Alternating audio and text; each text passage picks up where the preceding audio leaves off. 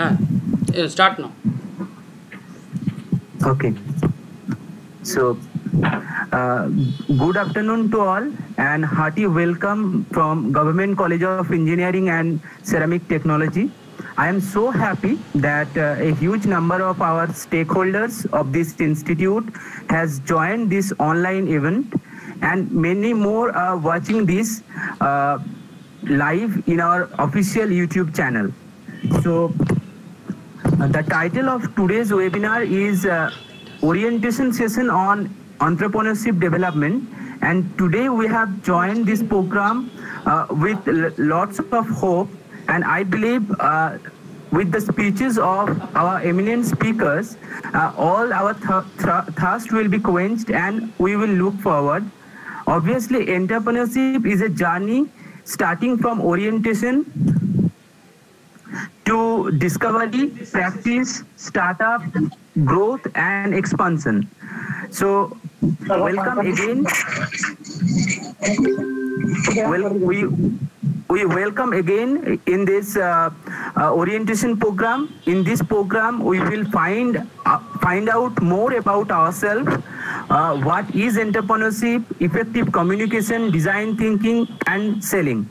Without talk, taking much more time, let us move forward to the virtual lamp opening session ceremony.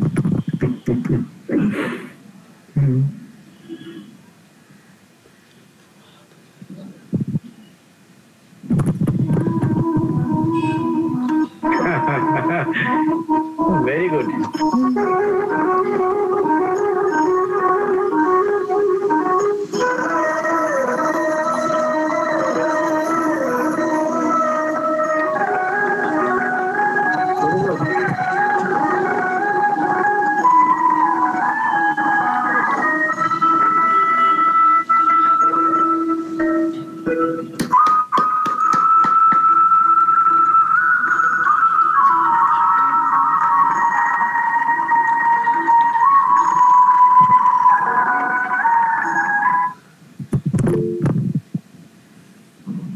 Okay. Thank you. Now uh, I will uh, request our honorable principal sir to uh, address the gathering. Sir, please. Yeah. Uh, good afternoon. It is indeed a very happy occasion for me to be present in the orientation session, orientation session on entrepreneurship development at Government College of Engineering and Ceramic Technology. I welcome Professor Santanu Das, Professor Pratik Sarkar, and Mr. Abdul Roy in today's webinar, I also welcome all my faculty and students of this institute. Now, I can recall that when I was in Kalyani Government Engineering College, that time also we wanted to have an environment where if a student after passing out want to be an entrepreneur, institute must have a cell and the institute must be in a position to provide all sorts of help for the student to help him to become an entrepreneur. What I feel that many of us are not from house of business orientation. Most of us are from middle class family. Even if I have ideas to become an entrepreneur, I don't have any idea for further requirement like legalities, then the loan, how I can get from the loan, uh, uh, loan from the bank, or other other modalities. So institute may be a, a place where a student who is wanting to be an entrepreneur, he will get, get all sorts of help from the institute. Nowadays, another thing may be thought of that a student has an idea, he like to develop a particular uh, product, he does not have the financial capability, he does not have proper technical capability also to develop this. He comes to the institution with his idea and the institute will give all sorts of help to develop the product ultimately till marketing of the product. So that was our aim and that was our dream that a institute should uh, go to that state where all effort will be done on, on behalf of the student.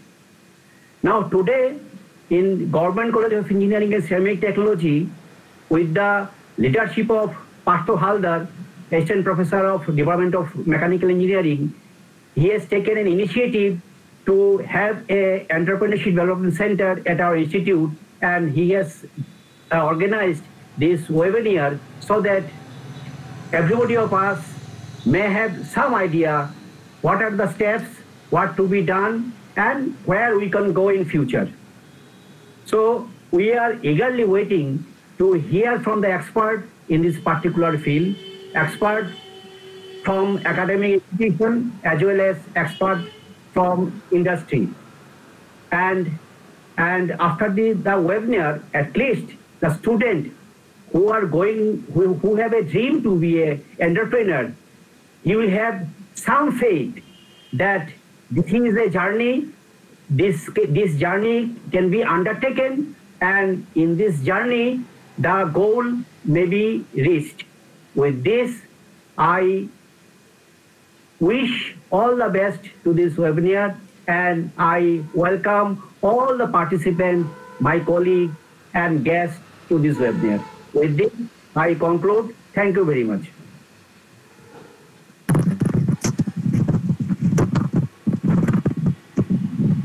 Thank you very much, sir. Uh, now uh, we will uh, move forward in the uh, next session. So at first, uh, uh, I will call Professor Santanu Das to address our uh, GCECT family. But before that, uh, um, I, I, I, will just brief uh, about uh, sir uh, that uh, Professor Santanu Das is presently working as the head of the Department of Mechanical Engineering in the college, Kalyani Government Engineering College. Previously, uh, he served at Projects and Development India Limited, New Delhi, and Dr. Babasaheb Ambedkar Technological University, Maharashtra. Uh, Sir has completed his uh, BE and ME from Jadavpur University and uh, his PhD from IIT Kharagpur. The research area of uh, Professor Das includes machining, uh, grinding, welding, uh, coating, condition monitoring, inventory management, and last but not the least, various other subdomains of manufacturing itself. Uh, he is at present the chairman of entrepreneurship cell of KGEC. Uh, he has a huge number of publications in his credit 172 number of uh, journals and book chapters uh, 85 papers in international journals 142 papers in national conferences workshop etc uh, he edited 11 books and proceedings so far and guided 6 phd students and 10 more are being guided so uh, 126 MTech theses and 99 BTech projects.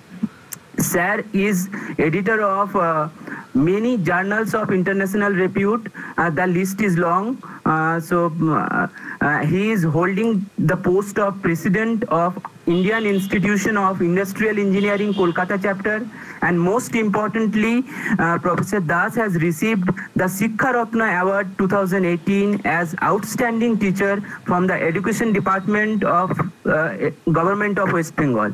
We are extremely honored and privileged that Sir has uh, arranged some, some time uh, to enlighten us and orient our thoughts in the direction of uh, entrepreneurship. So over to you, sir. Uh, thank you, Mr. Partha Haldar, uh, for introducing me. And uh, I uh, thank Professor Krishnendu Chakrabarty uh, for uh, arranging and patronizing the whole event today. so while I give this talk, I remember that while Professor Chakrabarty was there at Kalyani Government Engineering College, he was the main brain and the main patron behind starting of this entrepreneurship cell at Kalyani Government Engineering College. And uh, that was few years back while he was there at Kalyani. and he faced a lot of uh, difficulties and hindrances, obstructions, but uh, he almost single-handedly uh, uh, made lot of effort so that all these obstacles, hindrances can be cleared clear off, and ultimately we could successfully organize a number of uh, people or entrepreneurship activities at Kalyani Government Engineering College. And uh, as an continued effort over the last few years, we could achieve uh, something. And uh, today we have with us uh, Abhranil Roy, and uh, he was also very much involved in different entrepreneurship activities at Kalyani Government Engineering College. And he got himself very much award about this entrepreneurship cell. And ultimately he could start his own uh, activity. That he started his own uh, company and uh, till last uh, almost two months uh, after passing out from Kalyani Government Engineering College, he started his own business, own company, and uh, there are two uh, offices at Kolkata and Chennai he is running. And we are very much thankful to Abhranil Roy also. He will share that how uh, he and his team that time organized different entrepreneurship based activities at Kolani Government Engineering College and made lot of coordination between different other institutions like IIM Calcutta, IIT Kharagpur, IIT Bombay, etc. And uh, also several other uh, programs or events we could organize that time at Kolani Government Engineering College.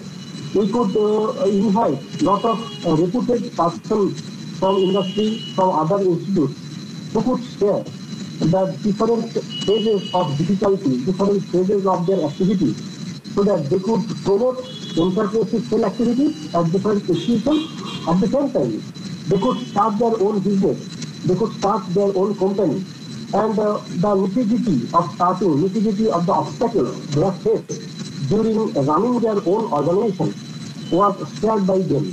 Even we could uh, invite some bank personnel so that uh, that bank managers, bank personnel could come over there at Kalyani Government Engineering College and share that uh, how to uh, write a project to get a loan from the banking personnel and how are the different nitty different uh, types of uh, styles of making and writing a pro- project proposal, etc.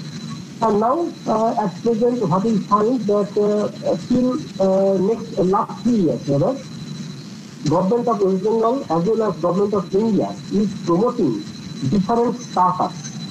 And uh, these startups are basically based on some initial ideas, uh, some uh, ideas of starting business, etc.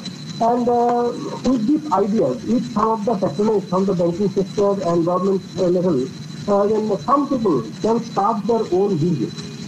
Normally, what we find in the eastern region that most of us are actually run towards getting a job, mainly government job, etc.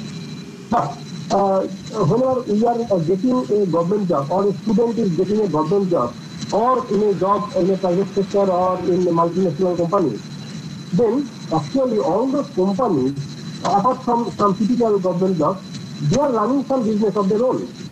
And whenever you are getting some exposure to these entrepreneurship sale-based activities, then it will be beneficial uh, in both ways. One way is that one can start or think of uh, making their own company or business. On the other hand, whenever a person is getting a job in a uh, company, maybe a multinational company, maybe a government uh, manufacturing sector, maybe a private sector, etc., then they can also get some free-hand knowledge from this entrepreneurship cell-based activity. Because how a particular company is running, how they are doing the accounting, how they are making the business, how they are making the these uh, project proposals, how they are making the tendering and all those things, manufacturing, uh, how to fit. So they can get some ideas uh, of uh, these activities, however other, so that they can also get themselves aware of these activities and they can apply this knowledge while they start the respective company. So sometimes some first year students or second year students of ours uh, ask us, sir, uh, uh, should we start our own business? And that is the thing that we want. I told, see, if you are getting awareness about how to make one entrepreneur, how to become one entrepreneur, how to do a business, how to write a project proposal. This will help you in two ways. One is that if you are getting interested and you are get, if you are getting some sufficient exposure, etc., then you can start your own business also. Then you become entrepreneur, then you also become employer. You are not seeking employment of your uh, own, but you can also give employment to others. That is a, very big benefit to the society. Why we lag actually in this sector. Another thing idea is that are getting aware of different types of entrepreneurship activities, different stages of running projects, different stages of writing a project, etc., then this will help you while you are serving a company, while you are making a job at a uh, MNC, that is multinational company, or a private sector or whatever. So these two benefits are very much essential. Because ultimately, whenever one is passing out from an engineering college, they are basically budding engineers. They may not know many of the uh, facets or nitty-gritties of a particular company. They get trained up whenever, whenever they are joining a particular company or stage. So first six months or one year, they are training to know the basic activities of a particular company. Again, whenever they are uh, uh, going up and up through the ladder in a particular company through their own uh, performance, etc., then ultimately they go into the management level. And in that management level, they have to exert that, uh, okay, new projects they have to start, new bank loans they have to get. There can be some personnel, expert personal there in accounts, in project activities. But if you are getting some prior knowledge, that is always beneficial. Not only this, in some campus placements or interviews also, if you are having this kind of knowledge, that also will help you uh, to get a better performance in this interview. So with this uh, said and done, uh, we started this entrepreneurship uh, activities at our college. And uh, over the last few years, I am happy to say that just like that of Abhimanyu Roy, there are some other uh, people who have started their own business. Some people, some students have started their own e-business. E-business. Uh, I, I find some students also who are already there in the third year or fourth year level. They have started with a very small scale, some e-business. One example I can give. Some uh, students, maybe from computer science or information technology, they have started what? They have started one e-business of supplying uh, books, textbooks to nearby school students in and around their residence. That they may be there at a distant places from the Kolkata. So what are they doing? With the e-system, they are getting some order from the uh, students and they are uh, giving some discount to the students and they have made some tie-up with the uh, bigger publishers of Kolkata and they purchase bulk amount of these books and they get a higher amount of uh, commission and then some commission they share with the uh, nearby students and ultimately they uh, earn some amount. In a small way, uh, they are successful to some extent by uh, this particular small scale startup. But uh, does not require much amount of capital usage. So in uh, various ways, in various ideas, uh, this kind of startup uh, can be started. Even you can see uh, some startups now they are becoming big companies uh, like your uh, Paytm, like your uh, some Reddit who are giving your uh, free service or rather rented service of your two wheelers. Uh, some are see, you can see uh, Amazon. They are just a, a supply type of business. They are doing. In various ways, people are now trying to start their own business or also in some way a small sector, uh, business or uh, some uh, public uh, or some some uh, supply type or serving type system, etc. They can start. So in this way, what I find that whenever we are basically running or starting on entrepreneurship activity, we are organizing different programs, different events, different training sessions, so that uh, some company persons are coming and uh, sharing their own experiences, that how they have actually reached and started this company. And at the same time, we have invited some persons like uh, the chairman of EPLF from IIT Kharagpur, like Professor P.K. Da, uh, Professor knowing him, he was there previously our uh, MAKAUT, rather uh, WBUT previously. So he is also there chairman of the international cell at IIT Kharagpur. You may contact them also uh, after all, after uh, this event. and you can get a lot of information from him because he is related to this of activities since long. So we organize this kind of program. Also, we organize different types of uh, competition. One competition I recall was held, uh, which was organized jointly with IIM Kolkata, Indian Institute of Management Kolkata. They are having a, a team. And uh, some pastors came uh, in our college and there was one project writing competition. And uh, they could identify some uh, groups of uh, people who wrote a very good quality project and uh, they were trying to uh, boost themselves by arranging some funding to uh, start some startups, etc. So this kind of activities can be there. And uh, I can just recall that uh, last year, a team of our uh, international cell uh, actively participated in the National Entrepreneurship Challenge, NEC activity, which was hosted by IIT Bombay. And our team could uh, stood uh, runner-up in the All India level. In the national level, it uh, made a uh, marking there that our students, our uh, team could uh, got uh, the second runner-up. So these are some of the activities that we could uh, uh, uh, participate, we could arrange like that. Some of the students go to some other colleges or institutions where lot of competitions, lot of other activities are arranged. So some are going to Kharagpur, some are going to IIM Calcutta, some are going to NIT Durgapur also. So in many of the uh, cases, uh, our team members uh, could do very well. And a lot of other alumni who are very much related to our people, they also give uh, sufficient booster, sufficient knowledge sharing activities uh, to the present E-Cell members. And thereby they are also getting a lot of uh, boosting to start their business or to do something good uh, related to this sector. So with this uh, work, I again uh, thank the organizers, uh, especially uh, Mr. Partha Haldar and the principal, Professor Krishna Chakrabarty, uh, for uh, inviting me to share a few of the ideas uh, what we have with our uh, Kolkata Government College while running the interpretation activities. Uh, I again thank you and I hope uh, this particular event today will make a boosting so that, that people activities can be propagated and promoted in future. Thank you all. Thank you, sir. Uh, it was uh, uh, really nice to learn from you your your um, live experience uh, heading the uh, e-cell of your college, uh, and obviously your suggestions will be followed, sir. Now, taking forward the event, I will now um, request Professor Pratik Sarkar to uh, address our uh, stakeholders. Uh, but before that, regarding the um, a brief introduction regarding um, Professor Pratik Sarkar, uh, he is a very dynamic person uh, who always wishes to work for the people. Uh, he is currently associated with the Dream Institute of Technology, Kolkata and he is the in charge of electrical engineering department of his college uh, he has worked in four different industries before joining this academic institute.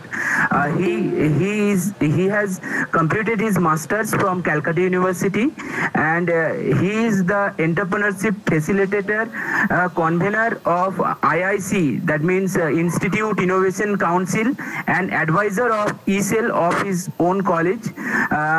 He has trained himself through four rigorous training programs conducted by several national organizations. Uh, regarding the outcomes, uh, Sir has mentored many students in time span from uh, 2016 to 2020 and uh, and uh, the students have marked their places in uh, DST organized different design competitions, Smart India hackathons, etc. One of the project came second runner-up in that event.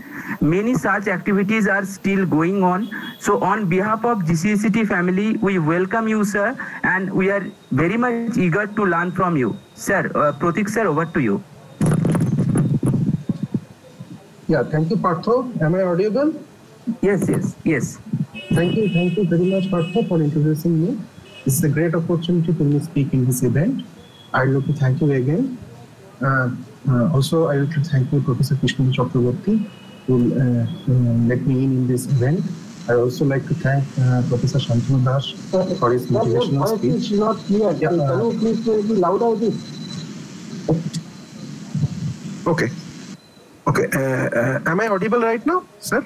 Yes, yes. Now it is okay. Yeah. Yeah. Okay. Okay. Okay. Okay.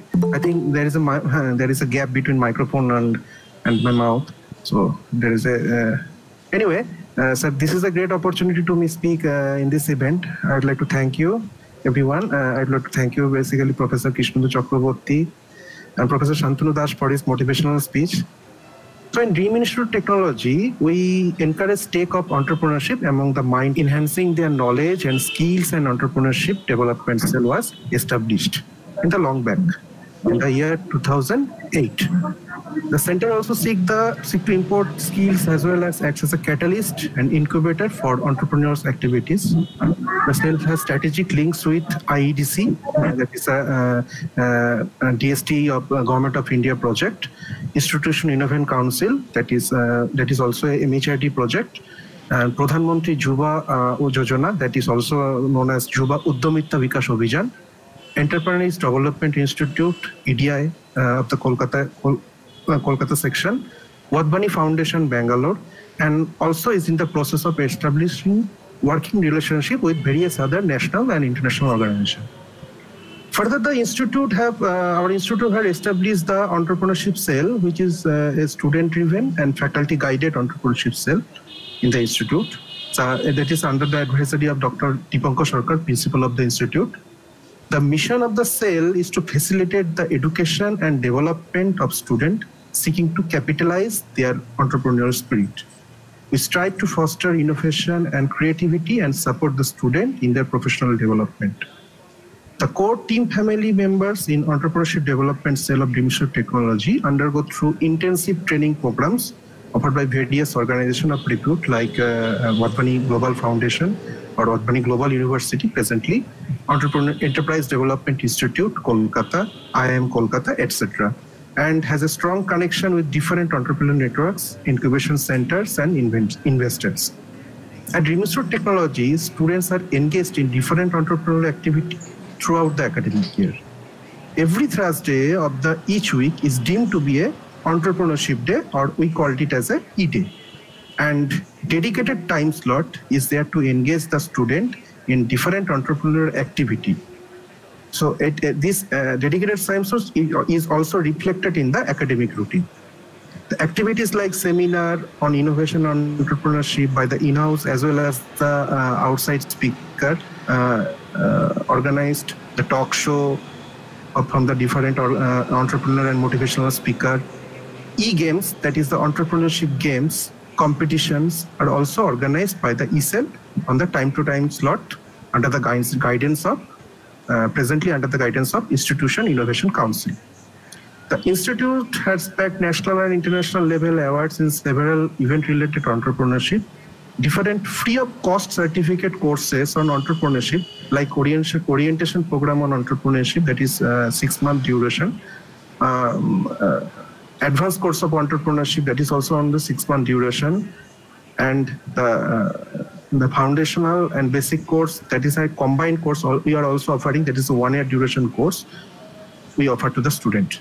Recently, to facilitate the students' potential real venture uh, to solve the empathetically viewed problem to the society, Dream Institute of Technology has started rolling a brand new program named Startup Lab program in the institute under the aegis of Wadhwani Foundation, and for which mentoring team consists of both in-house and out-campus expert, uh, which has been deputed uh,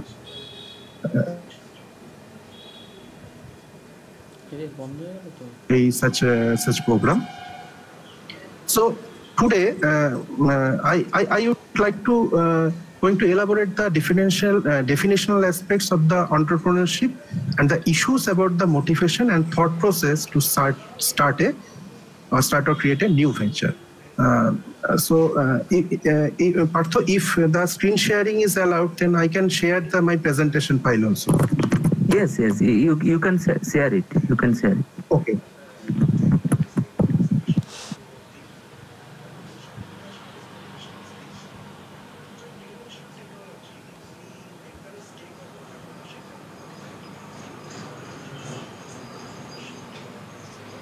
Is it visible? Hello, is it visible? To me, it is not uh, right now. Kingshukda? King Suk? Yes, sir. Is it visible? Yes, it is visible. To me also, it's not visible actually. Okay, I think that is a band, bandwidth issue. I think uh, Yes, so yes. that's why uh, that had- must It have will- some- some time lag. Anyway, uh, so Please make it full screen. Make it full Right, screen. right. So, uh, both being an employee and being an entrepreneur have their own advantages and disadvantages. Entrepreneurs are often portrayed as happy and free risk takers and have the benefits of controlling their own time and income. They often have uncapped potential earning and can jump from industry to industry uh, using their uh, developed uh, skills and uh, time. They, they, in the re- uh, real light of the day through, many entrepreneurs also fail. They don't have the guaranteed income and the work available that the contracted employee that can enjoy.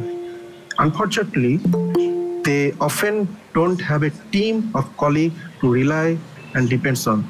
A paycheck to cash at the end of the every month. They don't have a company car or medical insurance and a chance of career progression with the same company in exchange for year of service. From the complexities of registration, uh, your company through a different difficult tax returns, failures, fallouts, and business fields. The life of an entrepreneur is not a start-start date, as people would believe when they see uh, the word appeared in the press or in the newspapers. However, the diversifications available to those uh, that chase their dream with new invention and crazy idea can often lead to self-satisfaction and a great quantity in confidence that will help across the all areas of life. In today's Western society, there is more and more opportunities for people to succeed and thrive as a freelancer and entrepreneur. The growth in the internet, remote working, and artificial intelligence, along with the advancement, advancement in the recent broadband and Wi-Fi technology, are making international freelancing easier and easier. Now, I will point the advantage and disadvantage available in both entrepreneur and the employee. So let's start with the advantage of employee. So the employee, the benefits for holiday at the uh, times available each year for the employees who have some time out and enjoy paid time when they are not working for the entrepreneur. They may take holiday or choose to work on their personal relationship, hobbies, exercise, or simply take rest. These periods of holiday can give employees to chance to uh, really take a uh, look back when their lives and then refresh themselves. This means that when they return to work from the holiday, they will have more focus and energy to complete their daily tasks with a new energy and satisfaction. Next one is the fixed working hours. Employees will often agree on fixed working hours that will be guaranteed and outlined in the contract between the themselves and the employers. Overtime or extra hours available will be worked in the employee's uh, discretion and will not be compulsory. Hours exceeding in the contract are called overtime and often paid in the higher rate. Sometimes an agreement is set uh, out between the employer and employee to receive uh, time in exchange for working hours that exceed the contract. Hours can be converted into uh, paid leaves or paid holidays. The third point is the less responsibility. In employment, we are often we assigned a particular role and we are only responsible for performing the tasks that are directly related to the role uh, while we are working. We don't need to interfere or worry with the, how other people are performing across the company.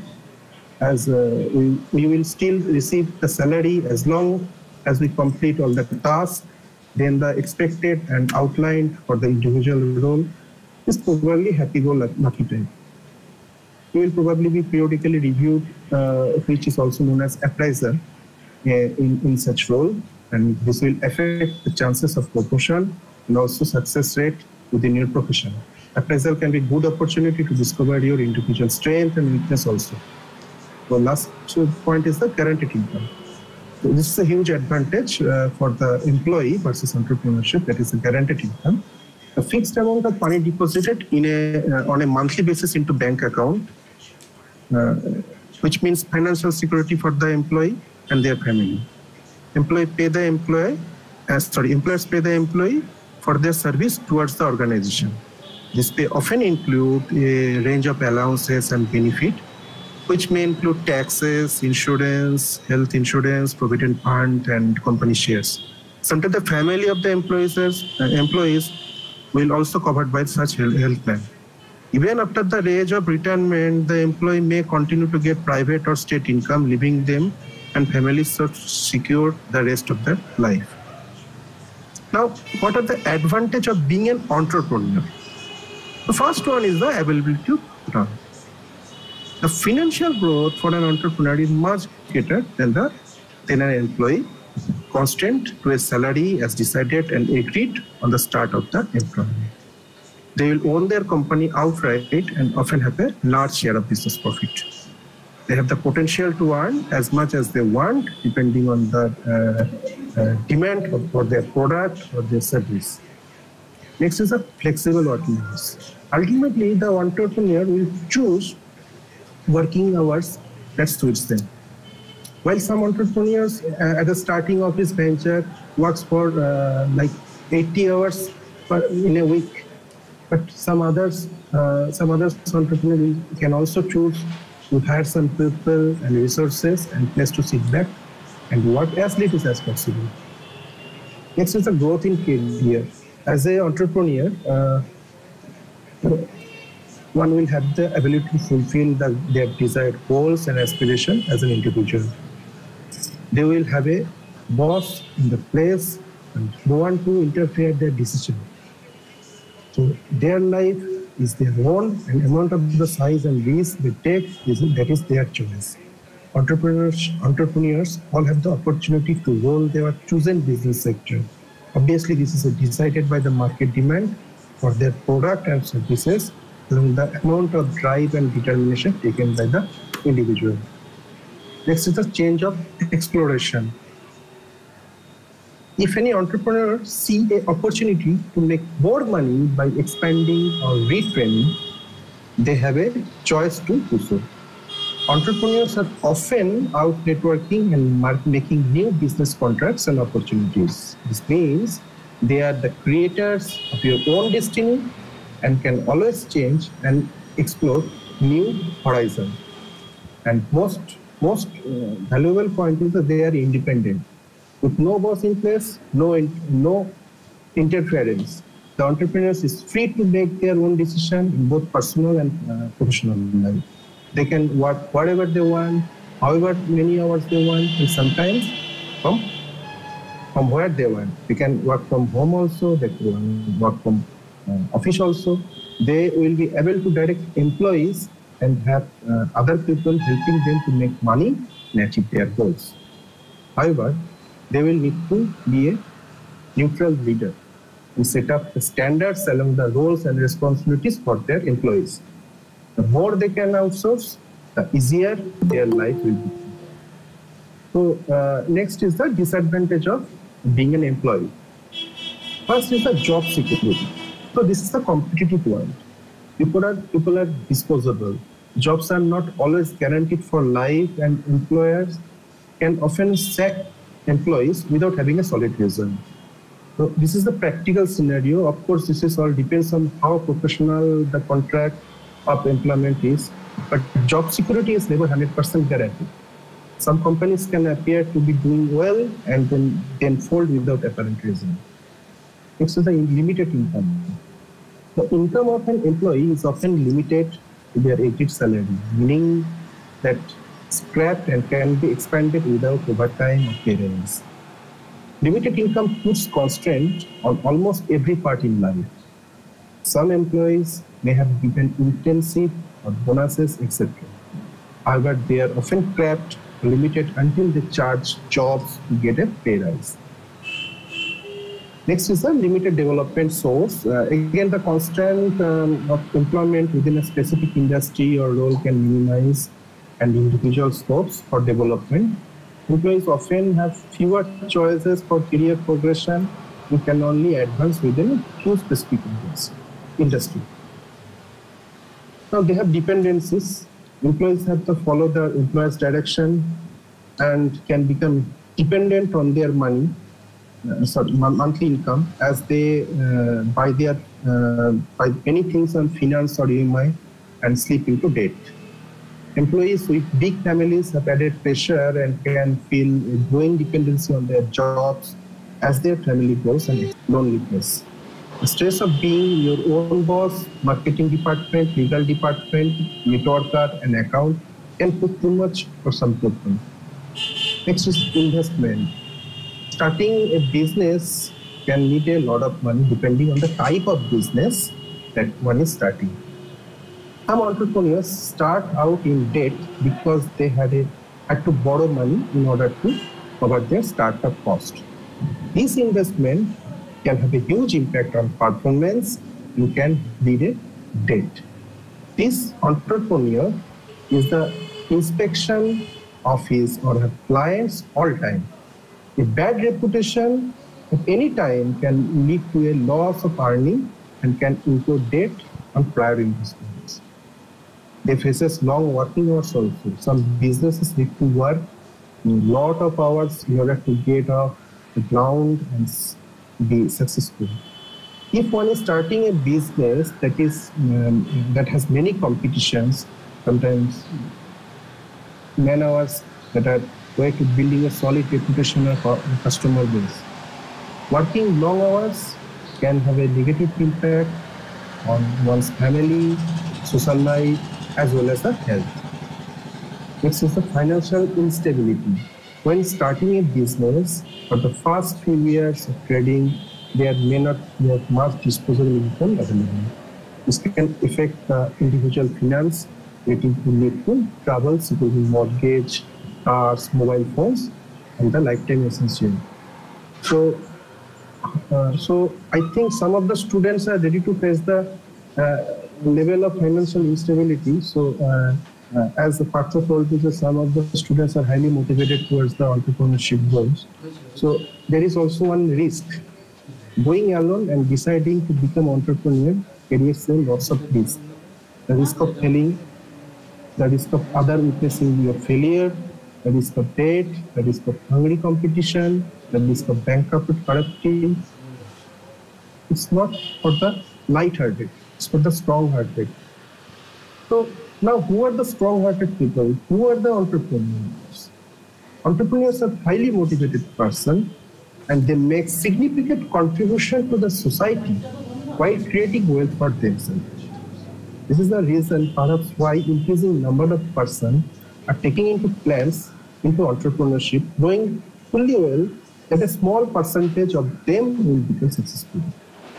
Most important event in the life of a startup is the time when customer is making payment in exchange for the product or service offered by the startup.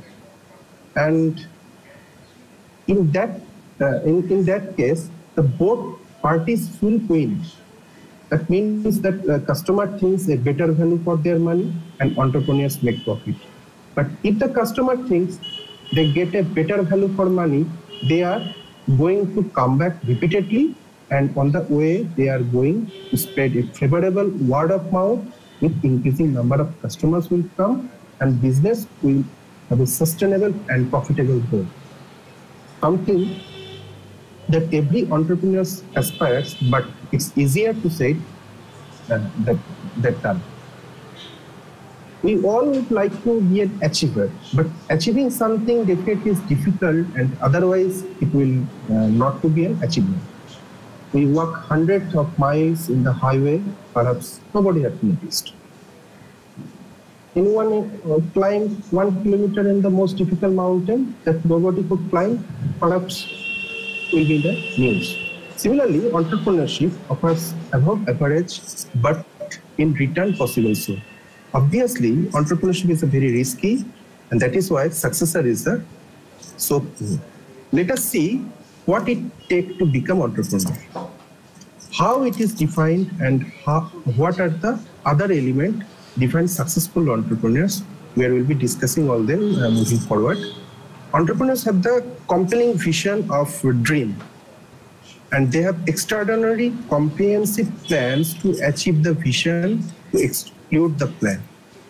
They can identify opportunities in adversities or translate adverse situation into opportunities. Failure do not deter them. They can identify possible methods of work around the adversities or risk and accomplish the desired goal. The innovate new products, they innovate new products uh, or new processes or methods to solve pains in a more competitive manner and create above average profit and then they sustain. They can innovate new business model with superior value proposition and make people happier. So, uh, uh, what is the value proposition? Value proposition, I'd like to mention it in a short form. Value proposition refers to the value that customer will perceive in the product or service that is the business offers. Meaning, if the perceived that uh, one's product is better value in, in the terms of money, cost, or in the terms of efficacy of the product, in the time of delivery, in terms of performance reliability, it's a it's having a better value proposition. So they become so the customer become happier. Entrepreneurs can organize a balanced team with the complementary skill and manage them the best possible execution of business model. Now, uh, here is some explanation about the term entrepreneur. The entrepreneur has a, originated from the French word called entrepreneur, which means undertake. The definition perhaps uh, includes most everything uh, that we do because we undertake many, many things in life. Even if you not become an entrepreneur, uh, if, you, if you become an employee also, you undertake many, many things. But the dictionary meaning, the word is slightly more particular. The dictionary meaning of entrepreneur is one who organizes, manages, and assume the risk of a business or enterprise in entrepreneurship Entrepreneurship, entrepreneurs start or adopt entrepreneurship. Entrepreneurship is about identifying at unmet pain, the uh, pain points, a group of people or maybe a group of business that is a target customer or that is a target customer segment. So customer segment means a group of people or group of companies with similar characteristics or similar liking or similar aspiration in the context of the product or the service that is under consideration for the uh, startup venture. So let's suppose that one is trying to uh, market a product. So uh, one has to identify the people uh, who and who would be the potentially interested in the product or a group of them actually, uh, group of the people actually, or the possible group of them is the customer segment. So that one can communicate them with very easily, one understand their pain more deeply, and one can structure their offering to meet the best need and their requirement of aspiration. Innovators entrepreneurship is innovating a suitable solution to ease the pain in the competitive way, meaning in a cost effective way. So competition and cost effective, both are there.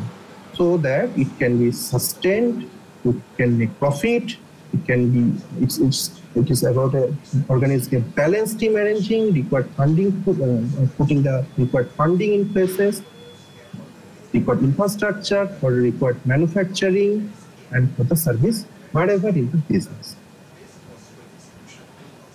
It is about making the product or service available to the customer, like the uh, channel through, the, through which the customer will be aware that the product is exist.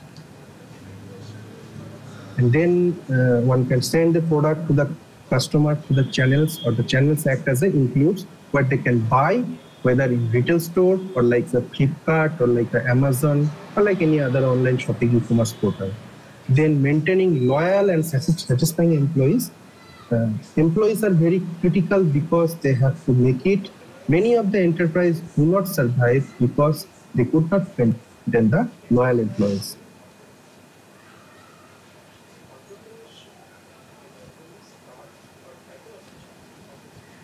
Then building the loyal customer base. I think the customer base uh, should become the uh, should the uh, should come fast because the uh, customer is the center of success of any business. Entrepreneurship is also about sustaining orientation and competitive manner, scaling up the business in a competitive manner, and then scaling up the business.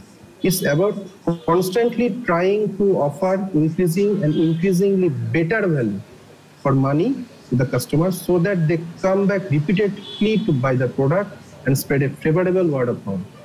So when one's turnover increases, they can achieve higher growth forward moving. Entrepreneurship is all about assuming also the risk related to an enterprise. Now, why people would become entrepreneurs is very obvious, uh, but let us try to put them in the tabular manner so that uh, we do not mean uh, we do not miss anything. Of course, it's very difficult that as, as, a, as a subject, it is not a theory that you can firmly say that these are the only things, these are the only items. So it's about an open-ended thing. Okay. So uh, what motivates people to become entrepreneur? Of the most important motivation that uh, one observes and agony or business has spent in the society on a group of people and these people are trying for a solution and would like to ease their pain, whatever that is. So if you think that uh, you can actually find a solution, so you start developing a solution, then build a team, and once the solution is there in the horizon, then you start a venture. So it's purely driven by an opportunity. Alternatively, you may come up with a brilliant idea. All of a sudden uh, something like an uh, epiphany moment uh, or this kind of fortunate meaning suddenly there is some positive fortunate stroke or uh, luck or flash and you've got an idea your record time and then you think that this idea actually can do wonders to the society to improve their life or to alleviate some pain in any way can make people more happy so you think that you should be pursue this idea execute it and then develop the product or solution and then make it available to the people. There are many uh, who things take up uh, take up the entrepreneurship because they are uh, passionate about uh, doing something new or groundbreaking. So they start exploring, and then many of them are successful to finding something. Many may not be. So one can find an idea through which they can actually do something groundbreaking. They start new venture. Many of us aspire to become independent, be your own boss of a kind, uh, a sense, uh, sense uh, that controls our, our ourselves, or maybe a far extent, that control our destiny. There are uh, others who would like to achieve whatever they want to achieve in life, in personal growth, maybe money, maybe anything these are part of internal factors that meaning of uh, in, internal motivator to the entrepreneurs. Moving forwards, uh, uh, people would like to recognize their contribution. Suppose you are working in a big company and you think that is a uh, you are a small uh, small fish in the big company. Rather than you think uh, think then being that if you can start a company, you will become a small fish to big fish in a small company. So maybe your contribution will be visible and people will recognize.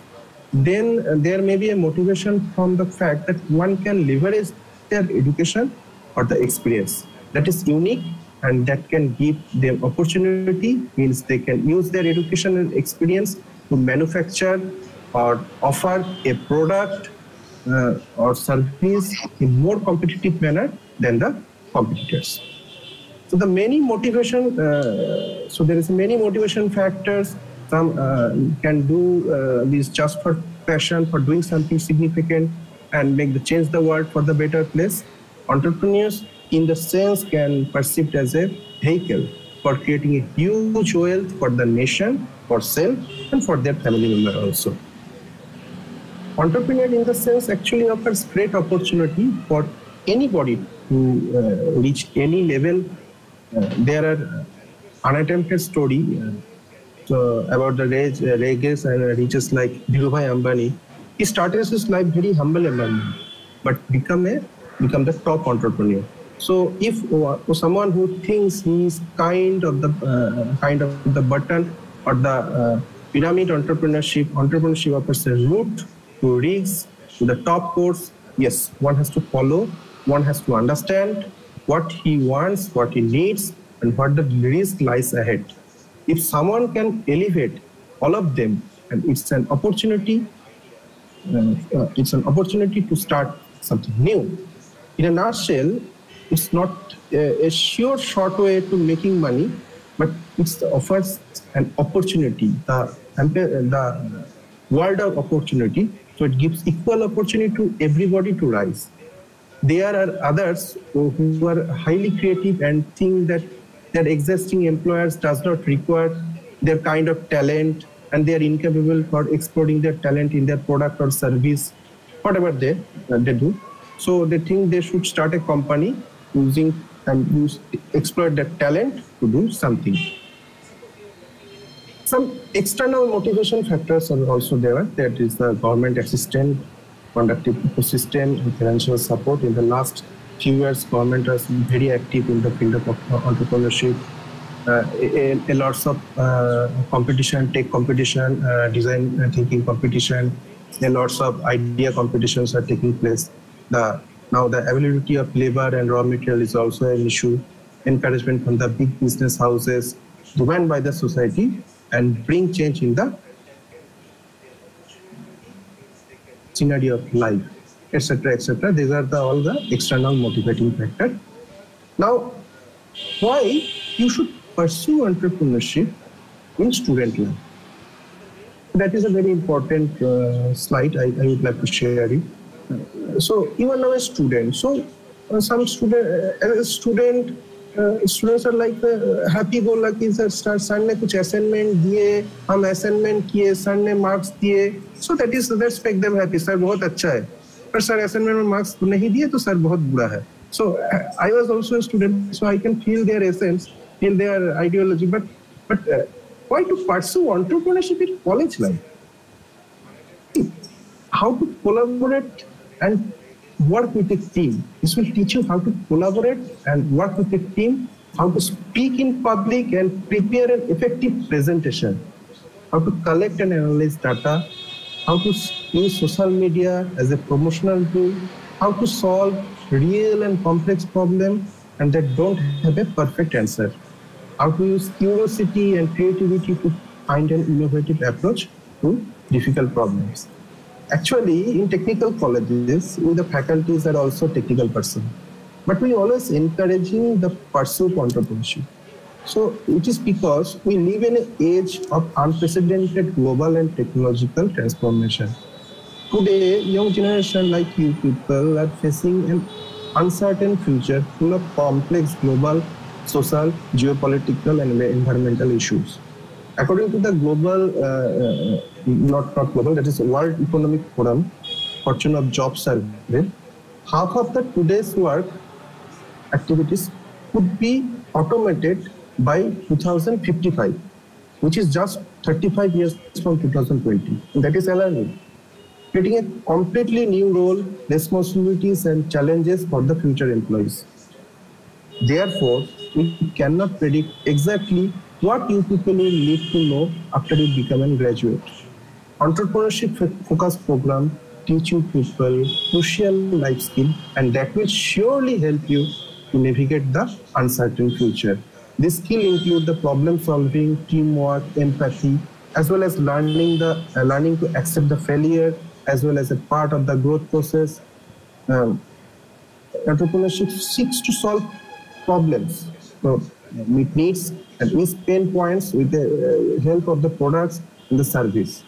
And this is this will surely make a difference and make the world a better place for you.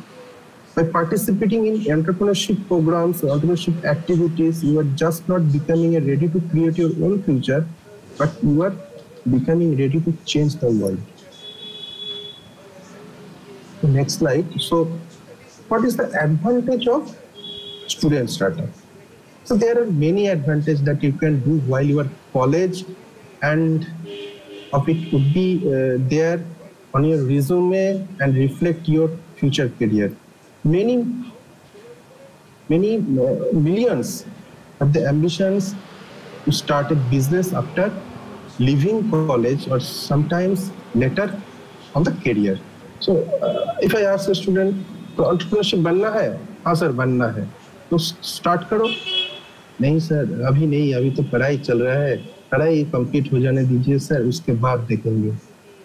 कुछ कुछ ऐसे भी बोलते हैं कि नहीं पढ़ाएँगे तीन चार साल नौकरी करेंगे मार्केट तो थोड़ा समझ लेंगे, उसके बाद आपको entrepreneurship but that actually stopping you from starting a business while starting of course there are बहुत advantage and disadvantage from starting a business और startup in college Some of the most successful entrepreneurs the past half century were their teens and 20s. And the many includes Bill Gates of Microsoft, Mark Zuckerberg of Facebook, started their business while they are in the college. The success of Microsoft, Apple, Facebook inspired many youngsters to go go up uh, and start entrepreneurship projects at that time by getting dropped out. So my personal suggestion is not to get drop out. There are hundreds of maybe thousands of college dropouts who did not make a uh, big out of their venture. But if you get a great idea, want to learn new skill and open up more career opportunities, starting a business while still in the college should be a great idea. So take a point-wise look. What are the advantage of starting a business in college? The first is you get a head start on the planning. If you wait until the leave of the college before starting to plan a new venture, and this is definitely uh, you are uh, a step ahead from uh, a step behind of your schedule. It should not be underestimated that how much work is required into planning stage of starting a new company you need to look at crafting waterproof business plan. Take into account how much it will cost to set up, what is your expected turnover and profit margin, and how long it will take to recover the startup cost. You need to market research who your probable customer and how would you get them, get them. Customer acquisition is the most difficult part of a uh, business venture. If at least all of this work is done, then you can get going fairly quickly. Next is you can use college resources. Yes, you can use college resources if, you, if, if there is a, if you are a student venture. You should not underestimate how much you have in the terms of access of research in your college. You have access to the different faculties as advisor to your company, which you can get for free. IT and printing resources, and there are even plenty of grants and financial assistance available for the students of entrepreneurs. So colleges have a lot of counseling, mentorship, educational and funding resources for entrepreneurs. You can always find a professor or graduate students willing to provide feedback on your business plan. You will find that in some colleges there are active programs to support startup business or even premises available for some cases. There are uh, so many costed so that saving should be welcomed. Many of institutes provide startup incubation facilities also so that there are plenty of opportunities uh, to support the system in place to start a business while studying.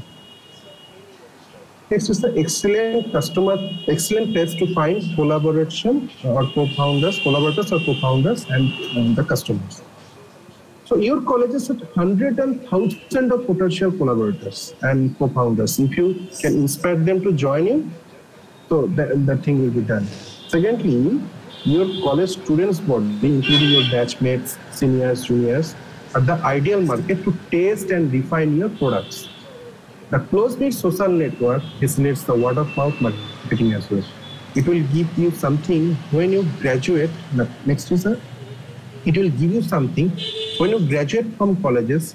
Trying to find a job after college is definitely one of the biggest challenge in life. Trying to find a job is biggest challenge in life every graduate engineer uh, felt, felt that it's the biggest challenge if you are not placed in the in the four-year curriculum in the pre-campusing. So it becomes the biggest challenge. But if you have already had a business and running them, then we have something to uh, something set up is ready, you can go and uh, that's up your own back. It would be terribly impressive to have set up lessons and it lessens uncertainty after leaving the college. Now, even if it does not work, say the, the, the venture, the startup venture does not work, but it will out a impressive result.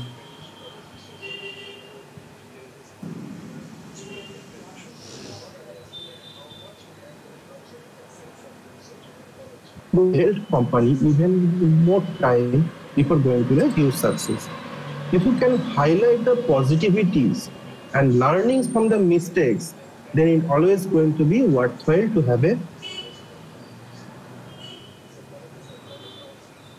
a challenge. Employers, when, when you sit the interview, employers always look for motivated folks and leadership qualities and go-getter attitude. Starting a business shows that you are proactive, creative, and driven. Uh, just the type of employee successful companies you are uh, looking for. Having an entrepreneurial experience under your belt can do wonders for your future career opportunity. So let's start uh, thinking differently. Design thinking is not an exclusive uh, property of designer. Okay, it, it is uh, the great, great innovators in literature, art, music, science, engineering, and business. Everyone is practicing. So, why quality design thinking? What is special about design thinking and designers? What process? How it can help systematically can help us to teach, learn, and apply them in human-centered techniques to solve problems in a creative and innovative way. In our designs, in our business, in our countries, or also in our lives. Some of the world's leading brands like Apple, Google, Samsung, General Electric have rapidly adopted the design thinking approach. And design thinking is being taught at leading universities around the world, including the business schools of Stanford, Harvard, MIT. But do you know what design thinking is and why it is so popular? Let's start with design thinking. So, design thinking is an iterative process in which you seek to understand the user, challenge the assumption, and redefine the problem in an attempt to identify alternative strategies and solution that uh, might not instantly uh, apparent uh, with initial level of understanding. At the same time, design thinking provides a solution-based approach to solving the particular problem. It is a way of thinking and working as well as a collection of hands-on method. Design thinking revolves around a deep interest in developing an understanding of the people for whom we are designing the product or service. It helps us observe and develop empathy with the target user. Design thinking helps us in the process questioning, questioning the problem, questioning the assumptions, and questioning the implication. Design thinking is extremely useful in tackling problems that are ill-defined or unknown. By reframing the problem in human-centric ways, creating many ideas in brainstorming sessions, and adapting a hands-on approach in prototyping and testing. Design thinking also involves ongoing experimentation, sketching, prototyping, testing, and trying out the concept and ideas. So, as Steve Jobs said, the most people make the mistake of thinking design thinking is what it is look like. People think it's this the vernier. That is, the designers are handed this box and told make it good look. That's not what we think about the design is. It's not just what it looks like and feels like. Design it how it works. Tim Brown, the CEO of IDEO, uh, said that design thinking can be described as a discipline that uses the designer's sensibility and methods to match people needs with what the technology feasible and what a visible business strategy can convert into customer value and market opportunity. In short, design thinking is the combination of desirable viable and feasible. Desirable means what people needs and what they wants. Viable means that that makes a business sense, and feasible means that is technologically possible. So sometimes design thinking is also termed as outside box thinking. All as all uh, as all designers are attempting to develop new ways of thinking that do not abide by the dominant or more common problems solving methods. At the heart of design thinking, it is the intention to improve products by analyzing and understanding how user interact with product and investigate the condition in which they operate. At the heart of design thinking lies also the interest and ability to ask significant questions and challenging the assumptions. One element of outside box thinking is to falsify the previous assumption. That means to make it possible to prove whether they are valid or not. Once we have questioned and investigated the conditions of problem, the solution generation process will help us produce ideas that reflect the genuine constraint and face the, that particular problem. Design thinking offers us a means of digging bit deeper.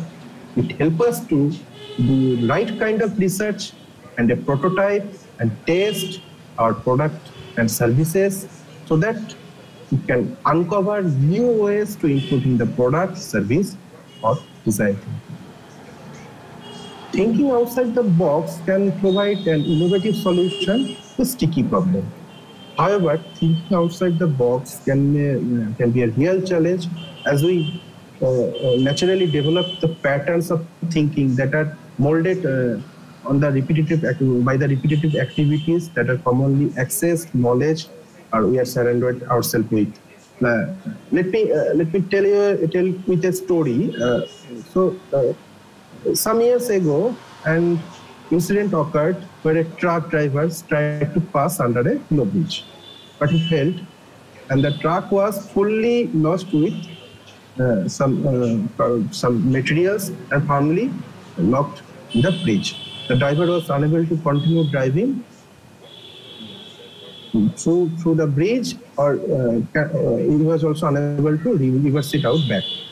The story goes as the truck became stuck, uh, it caused massive traffic problems, which resulted in emergency personnel, engineers, firefighters, and the truck drivers gathering to devise and negotiate various solutions for dislocking the trapped vehicle. Emergency workers were debating whether the dismantled parts of the truck or chip away the parts of the bridge. He spoke of the solution which fitted within his or her prospective level of expertise was, was told.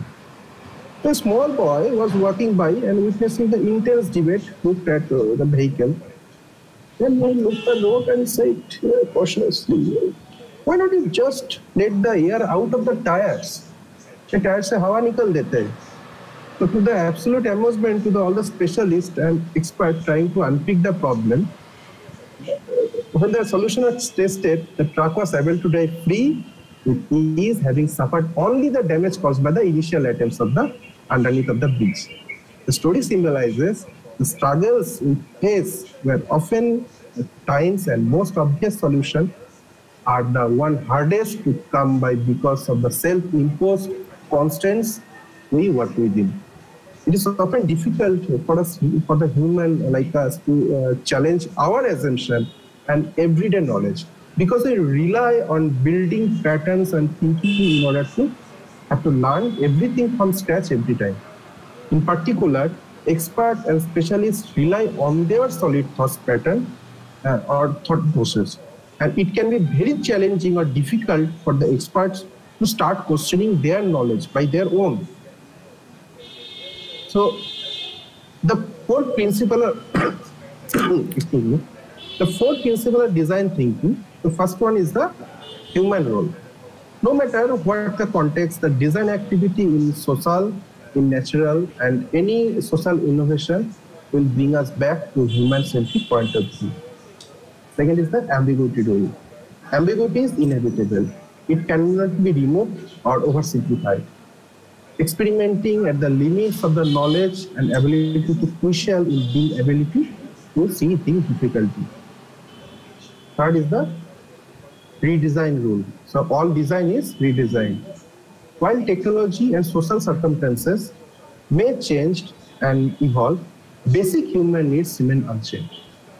We essentially only redesign the means of fulfilling these needs or reaching the desired outcomes. Uh, let's take an example. Uh, so Android TV is there, Android mobile is also there. By technical vision, are there uh, big are there are there any big difference between them? But only the big screen or giant screen making the difference for the market, for the global customer, everything. So who, are, who will buy a phone and who will buy the Android TV and are maybe the same customer or may not be the same customer. The customer segment is completely different. But the need is the one to make an Android device. Next is the tangibility rule. Making ideas tangible in the form of prototypes enables designer to communicate them more effectively.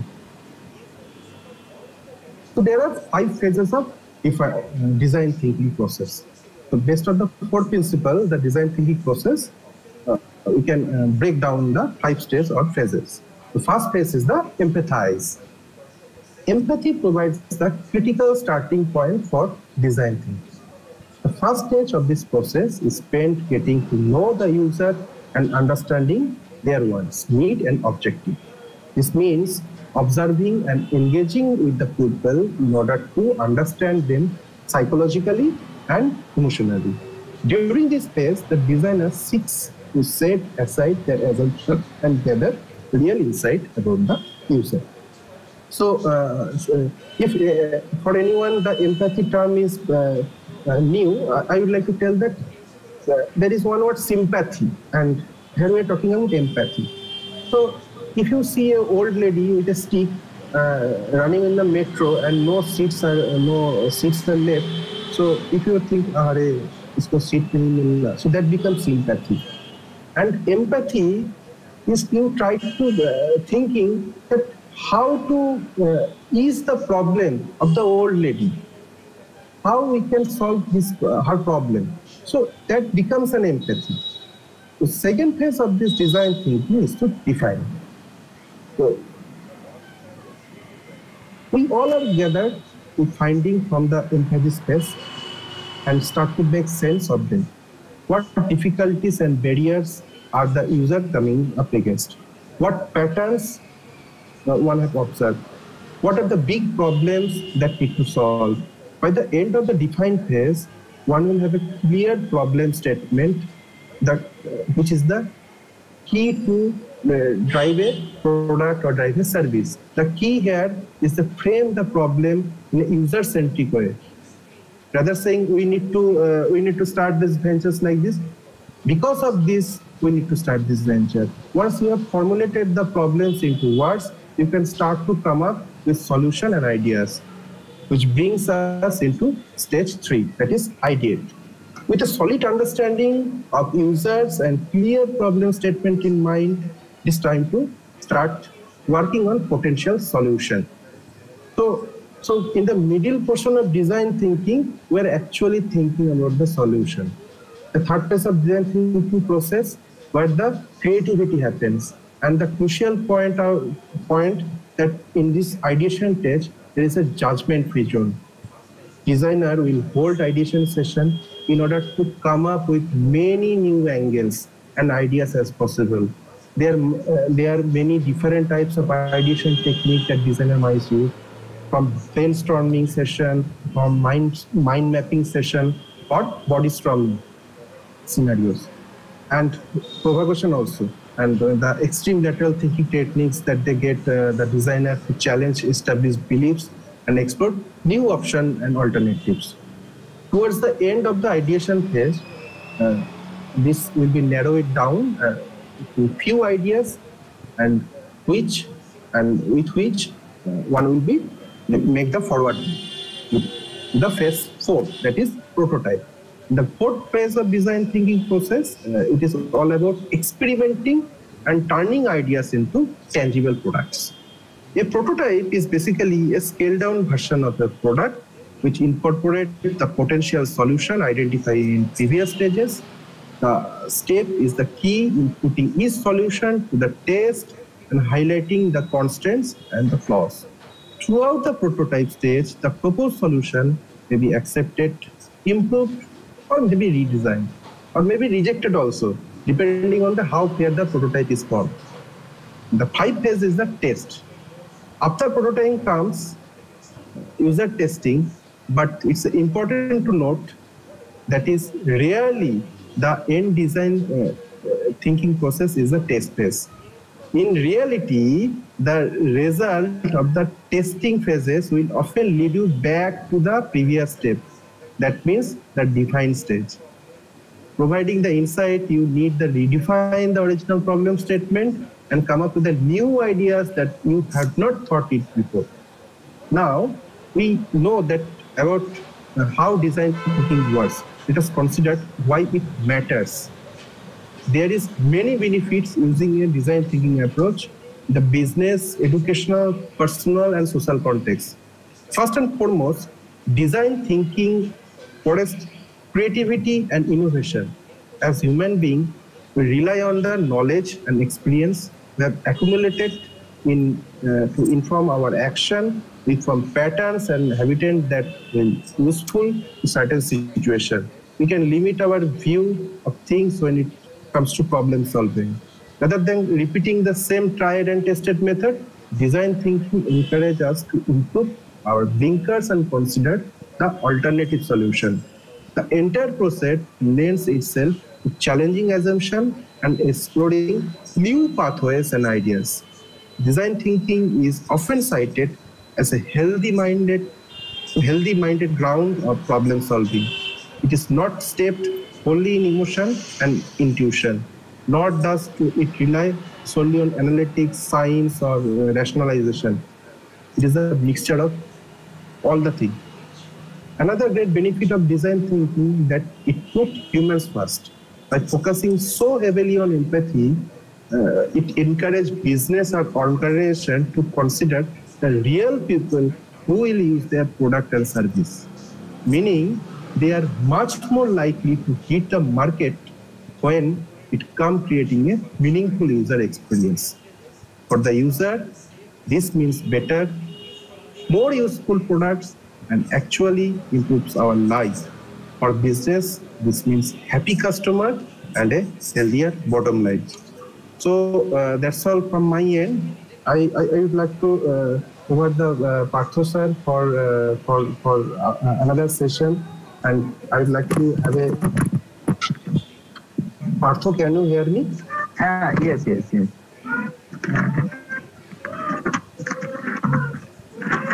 Uh, thank you very much, uh, Professor Pratik Sarkar. Your uh, we will surely uh, learn more about uh, design thinking and from you in the future time. And obviously we will try to uh, follow the steps as suggested by you.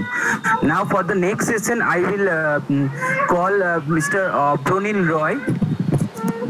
Mr Abhranil roy who is the digital media lead. Rivan? Rivan please. Okay Okay, will আমি আমি কথা বলছি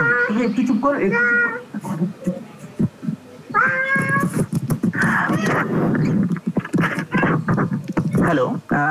We, will now call Mr. Abhranil Roy, who is the digital media lead and director of Sportwalk. basically, Sportwalk is a startup company which is based out of Chennai and Kolkata. And one of the uh, India's fastest growing sports media, merchandise and marketing startup. So, uh, over to you, um, Abhranil. Uh, thank you so much, Partha Haldar sir. I hope I'm audible to everyone. Uh, if you could Yes, just yes, type yes. yes, yeah. yes, yes, yes. Thank you so much. Uh, good afternoon, everyone. Uh, first off, I would like to congratulate uh, GCECT on this auspicious occasion.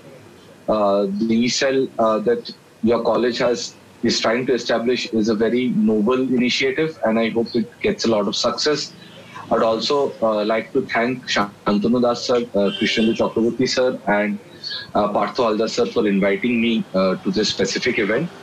Uh, so yeah, I think uh, we have around 15 to 20 students from the college who are currently tuned in. I would really appreciate if you guys could tell me that you know when you joined this session, if you guys join, that Actually- yeah, hello, Actually, many many many more are watching in uh, YouTube live. yeah, Uh, yeah. ac- Actually, we had we have splitted the sessions, uh, so Right. many more are in YouTube live. That's uh, that's that's fantastic. So I mean, uh, those who are both tuned in on the Zoom call as well as those who are watching on YouTube live, it would be great if you could just uh, type in the chat box uh, saying that you know when you're, you're watching the session or you were you are addressed that there is a session that is going to happen regarding uh, entrepreneurship and everything. Uh, if you could just type in the chat box saying what did you expect when you joined this particular session? Did you want to learn something new? You want to experience something?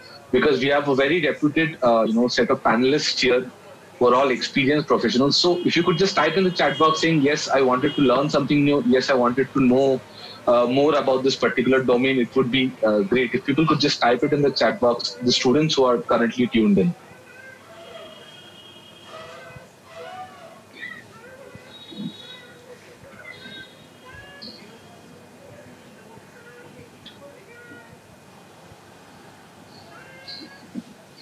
Okay.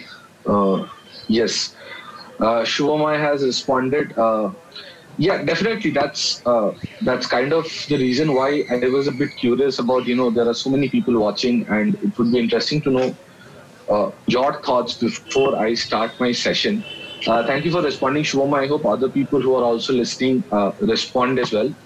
I really want to make this interactive and uh, you know uh, not not something that I'm just speaking about. So I'll give a brief introduction about myself. My name is Abhranil Roy.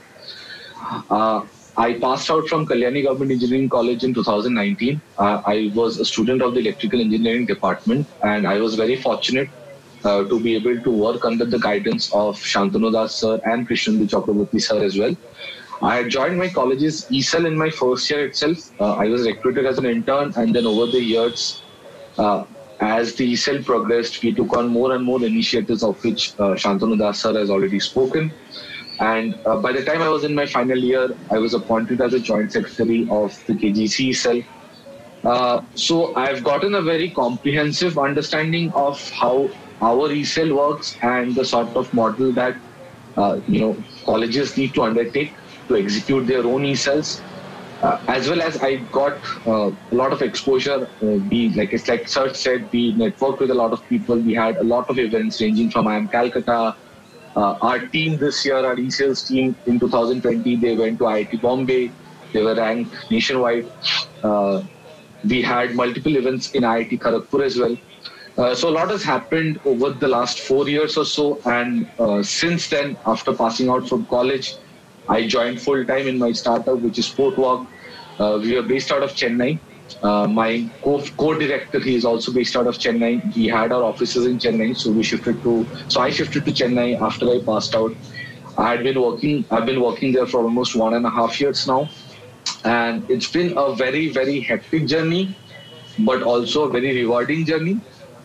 But in the sense, I also got an understanding, uh, a very comprehensive understanding of how things work, both when you are a student and both when you are a working professional, keeping in mind that the end goal is to be an entrepreneur, uh, is to be someone who owns and runs his or her own business or his or her own startup.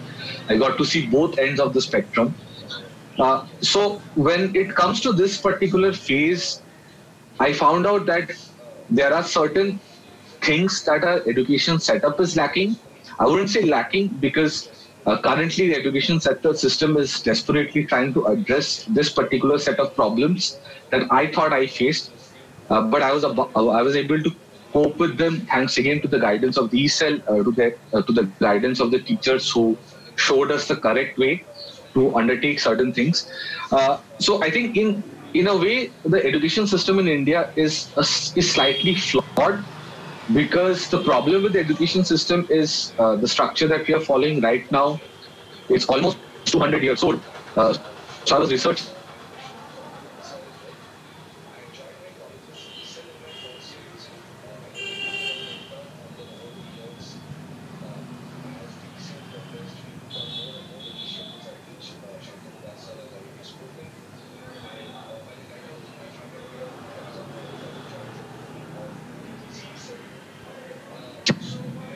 Just.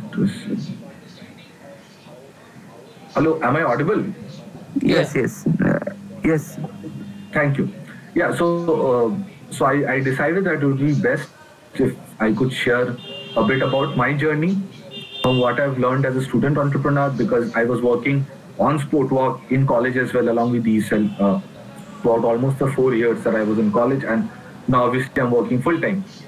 Uh, so like I was saying, the education system in India currently has a certain set of problems that are being uh, like that are being slowly addressed, but it is going to take a bit of time. Uh, so when Sir asked me, you know, to to let him know the topic of my address today, I decided I would share my thoughts on the education system and the five things that I personally believe uh, the education system uh, needs uh, to focus on a bit more so that we can develop a better set of entrepreneurs going into this decade. Uh, so yeah, like I was saying, I, I, was researching about the Indian education system uh, yesterday, and I found out to my shock that the education system that currently so heavily focuses on English as an education medium and the entire setup that we have was something that was devised by the British, in particular a person called Lord Macaulay. And believe it or not, this setup was created in the year 1835. So that is almost 200 years have passed since the initial foundation of our education system was established.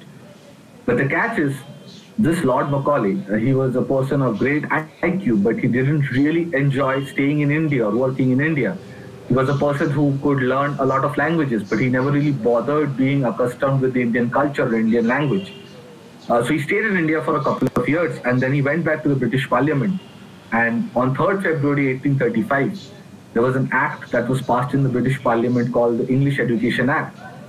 And in it, it was specifically mentioned that the medium of uh, education in India has to be in English because the British needed clerks, factory workers, military people, people who can follow their orders obediently. They needed these sort of people to be generated by the education system. And these sort of people, although they're very disciplined, they're very regular, it is not really a job that requires a lot of creative thinking or as uh, as my panelist before me mentioned, it is not something that requires a lot of design thinking. It's a be- very beautiful term that he introduced. It's not something that requires a lot of out of the box thinking. It requires you to follow instructions blindly. And although the system has definitely evolved over the last century or so, but the basic setup is still the same. It's uh, it's it's learning to follow instructions. It's learning to follow a given set of ideas that have been propagated over decades and decades and that have not really seen a lot of changes. And this is the particular thing that is also prevalent uh, in both our schools and colleges. And uh, that particular flaw has not been addressed at scale this to this day and age. That is something that I found quite fascinating. The other thing that I also found fascinating is a very specific point in history. So as you know, India is is, is, is the IT hub of the world. We produce the most engineers in the world. We have, I mean, believe it or not, we have 28 Olympic medals in our history as compared to China, who won over 100 medals in 2016. We have the most number of engineers in the country, but since independence, we have not produced a single Nobel laureate who is a Indian citizen, which is fascinating because we are obsessed with uh, you know producing engineers and doctors, and there are so many wonderful, wonderfully gifted people who pass out of our country as engineers and doctors, but yet we do not really have any path-breaking work done in STEM, or you know we do not have Nobel laureates who are Indian citizens and working in the country. This this is another aspect that has fascinated me for a long, long time. And again, I was researching about it, and I found out that this is all. This all comes down to a very specific moment in history, a moment so specific that I can also give you the exact time. October 4th, 1957, 7:28 p.m. this particular this particular moment was when Russia launched the Sputnik satellite, the first satellite to go into space. And as you know, Russia and US were in a Cold War that were that lasted over 30 years. And this particular act of Russia being the first uh, nation to send a vehicle into space, it caused a huge, it caused a huge, uh, uh, it, it caused a huge repercussion in the US. They said that you know we need more scientists, we need more engineers, uh, we need more accomplished people to come over in our country so that we can beat Russia, and uh, you know we we can launch our moon program, which is why uh, you know President, I think President Reagan launched the moon program in US and US at that time they identified IITs in India as the hotspot for talent, for engineering talent, for mathematical talent, for uh, you know for for scientific talent, and thus started the process of US offering Indian scientists, Indian engineers more benefits, uh, better hours, better pay, and thus started the this entire process of engineers going over to US or going over to Europe, and you know fulfilling all their ambitions, fulfilling, uh, you know, living their dream life there and not really bothering about uh, the progress that their own country is making, that the country from which they have learned all, all of this information from. They are busy applying it somewhere else. So this, these two specific moments is what has caused a lot of, uh, it, it, has, it has retrospectively affected the Indian education system a lot uh, because this has led to a lack of innovation, this has led to our innovative minds going elsewhere. And that is where I feel that this, this particular culture, this particular uh, area needs to be addressed, which the government of India is doing, which so many colleges are doing, which is why I personally feel that there is an undying need for each college in the country to have an entrepreneurship cell. It does not mean everyone has to become an entrepreneur or a business owner. But the life skills that you learn, they are so, so effective no matter in which field you pursue, whether you go for higher studies, whether you go for a corporate job, whether you, uh, you know, you go overseas, you start your own business. The life skills that my E-Cell and my journey with Sportwalk has taught me can be applied anywhere and elsewhere, and you're going to benefit a lot out of it. Uh, so I think the first, uh, the first life skill that I have learned is that it's okay to make mistakes. It's completely fine to make mistakes. In fact, most of us we spend most of our lives making mistakes it's okay to make mistakes. It's okay to commit blunders. What's not okay is to defend them. What's not okay is to accept them and then move on. You have to find the cause of it. You have to find why it happened. You have to understand how you can improve it and then you have to move on. But the problem again with our education system is that we are not really okay with making mistakes. There is a set guideline that you have to follow that you know that your parents say or that your teachers say the problem is these guidelines these people they mean the best. Absolutely no question about it. They want your best at heart. But the issue is their advice it comes from an era that they came from. Your era your vision is something that you have to define. And if you are going to define your own vision then the first thing that you have to accept is that you're going to make mistakes is that there are going to be people who do your job better than you. It's your job to learn from them. Like, for example, I did. Uh, when we were organizing the IIT Kharagpur summit in, uh, in in our college. We had a summit over. We had a respected guest over. We had Santanu Das sir. We had uh, our principal sir over. And there is this major miscommunication that happened with regard to transport. Uh, it was not finalized, and it was something that we had taken over. We said that you know, sir, we will arrange the same but we made a mistake. Uh, we did not sort out, there was some miscommunication. But Sir was kind enough to say, you know, it's fine. We know what the problem is. I can get this solved for you even at the last moment. But you have to promise me that you are going to communicate, you are going to keep me in the loop for every decision here on. This happened, I think, towards the end of my second year. And since then, we've always we've always taken Sir's advice. We've always asked him regarding any event that has happened, and Sir has always graciously helped us out no matter how foolish our query was. So this is a culture that needs to be propagated on at a much larger scale that it's okay to make mistakes. It's just the people who are leading your organization, they need to accept this and they need to guide you in the right track. That is something that I have learned and that I feel is very, very important in our current day and age scenario. Second, discipline. It doesn't matter whether you're freelancing, whether you are working as a professional, whether you are an entrepreneur discipline is something that no one can teach you. It is something that comes from within you. It doesn't matter how many routines you make, how many to-do lists you have, what your plans are. Discipline is something that has to come from within you. And it does not matter which field you're working in. Discipline has to come from within you. And this is another aspect that maybe our education system has not addressed enough. Discipline is not, it's not something that's very like it's it's not something that that comes from a set routine. It's some, it's something that comes to internal and discipline will only come if you are doing something that you're very passionate about. If you're doing something that you care for deeply it doesn't matter how late you're working or how soon you're up. You're going to be working on it and you're going to be very disciplined in your approach which you need to be successful in any field. The third thing that i feel that a lot of uh, undergraduates me myself along with my batchmates I felt was particularly lacking uh, was confidence. A lot of people, especially in college, college students, they severely uh, lack confidence in certain aspects. It can be public speaking, it can be how they speak English, it can be their communication, it can be their writing skills, it can be making a project. The thing that I found uh, a lot of people lacking is confidence the problem is whenever my juniors ask me you know how do i get confident in you know public speaking? How do i improve my communication? How do i present myself better? I always say confidence is not something that that is very esoteric. That is not something that uh, that like that takes a lot of uh, dis like that, that takes a lot of you know uh, work. Confidence is very simple. Confidence comes when you keep promises to yourself. Your confidence can come from simply saying that you know okay, from tomorrow onwards, I'll wake up at six o'clock every morning. I'll work out for 30 minutes. I'll study for an hour after that, and then I'll begin my day. You do this particular thing. You say you wake up at 6 a.m. for the next 21 days. Confidence and discipline will both come to you naturally. It's not something that you need to be taught, but you have to set a goal. You have to chase after it relentlessly. That is how you build your confidence. That is how you build your discipline. And that is something that, again, the education system does not teach us right from the start. It is something that you have to experience. It is something that you have to learn.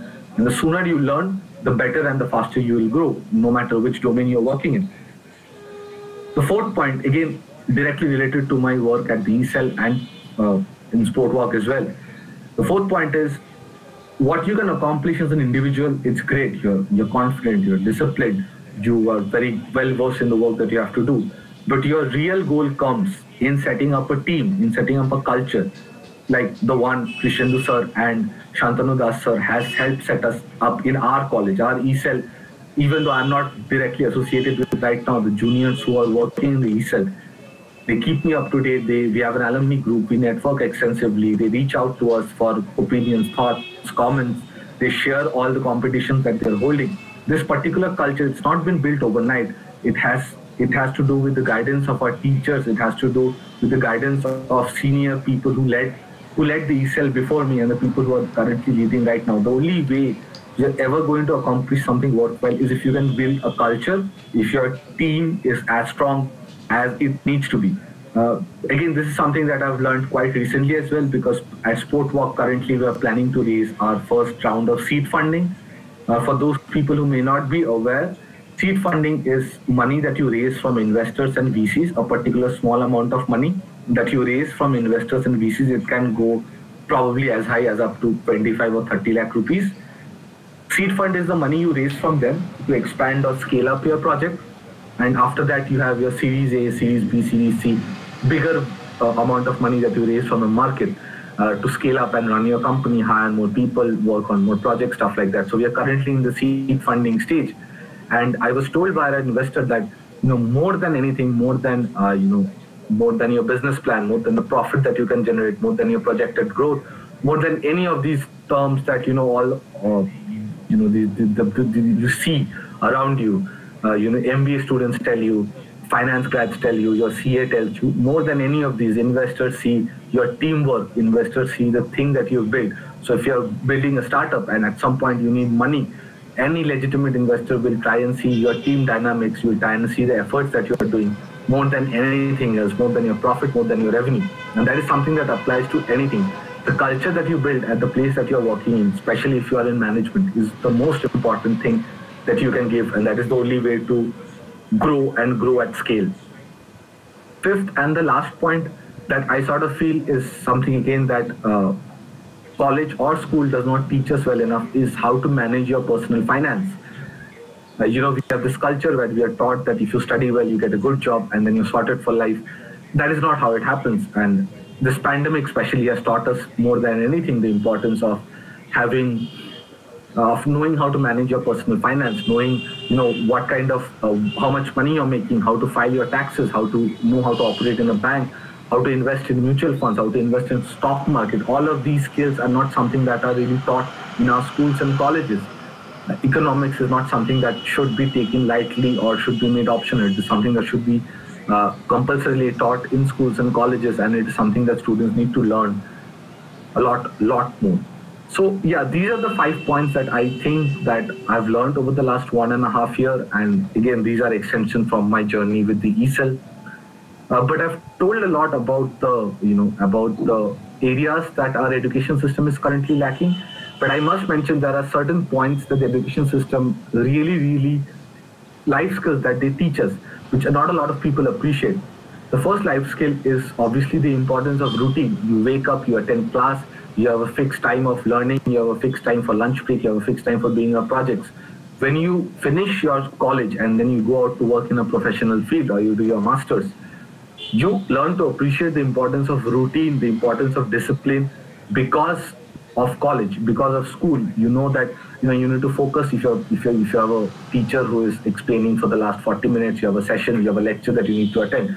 It's very important that you have a routine because when you grow up you have multiple things that you need to attend. And unless and until you manage to finalize the routine you have the discipline to execute that routine. You're not going to make it as an adult. So it's very important the routine the set routine that the college teaches us. It's very important you follow that uh, no matter which course or which department you're in the second and another important aspect is apart from entrepreneurship, you know, entrepreneurs, like not everyone is an entrepreneur, not everyone wants to be an entrepreneur. Like I said, these life skills can be applied to anything else. But the presence of the faculty that you have, like for example, for me again, like I keep mentioning, I had Santanu Das sir, I had Krishnendu sir. I have learned so much from them. It, it, it's not something that, that that that just focuses on the topics, educational topics, but it's also about how to manage people, how to connect with people, how to network with people, how to understand communication better. These are real life skills that you can learn from your faculty, especially those who are in management. And that is another invaluable aspect that you have direct access to, and that is something that you need to really, really focus and make sure you know you learn apart from whatever it is that your professors are lecturing, you learn how to write. It's, it's a very important life skill to know how to write a proper mail, to know how to create a proper project, to know how to create a slideshow, to know how to communicate properly, to know how to speak in a public session. These are skills that I have learned from my teachers at college, apart from the topics that they have also taught us very delicately. And the final thing I would say, especially for engineers, is uh, is this life skill that all engineers have access to, which uh, you know, which is called, which is colloquially called as jugaad.